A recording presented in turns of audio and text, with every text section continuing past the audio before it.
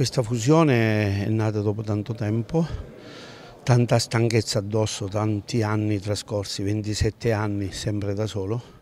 Ho cercato sempre una società che mi stesse vicino, per, altrimenti ogni volta che mi giravo dietro a me non c'era nessuno, all'infuori del mister, all'infuori di tutti i collaboratori che avevo.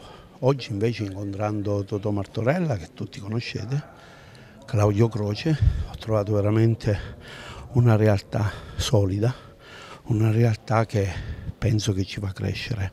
A noi crescono loro e possiamo continuare a portare avanti questo discorso del calcio che io lo faccio sempre a livello sociale, a livello per andare avanti e per prendere tutti questi ragazzi, toglierli dalla strada e imboccarli in una vita tranquilla. L'impegno che abbiamo preso per adesso è uno, che loro fanno tanti sacrifici nel settore giovanile, come noi anche. Abbiamo tutte e due le società, settori giovanili ed elite, sia con i giovanissimi sia con gli allievi, abbiamo tutto.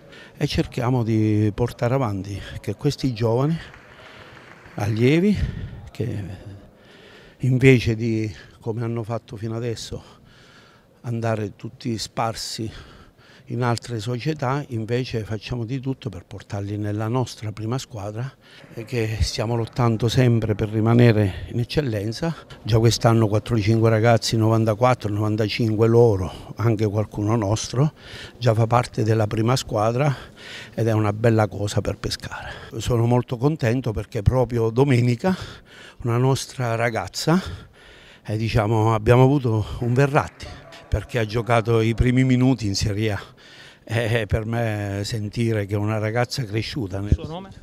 Eh, Angela Passeri e anche Domenica, un nostro ragazzo, sempre del nostro settore giovanile, prima venuto dalla D'Annunzio, ringrazio anche il presidente della D'Annunzio che ci ha dato questa possibilità di far crescere questo ragazzo. Domenica ha giocato con, con Latino, gioca, eh, due settimane fa ha giocato contro il Palermo e si sta vedendo, ha fatto un, un bel assist dove ha fatto fare un bel gol col pareggio della squadra.